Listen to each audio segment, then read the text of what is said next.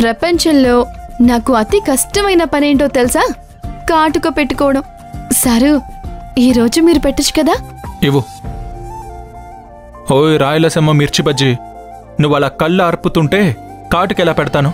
కళ్ళు అర్పకు హాయే పంచే ఈ చల్లగాలి మళ్ళీ మళ్ళీ రాదే.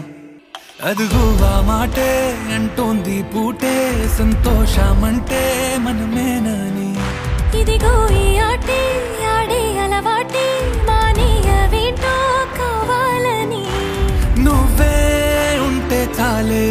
మరిచిపోనా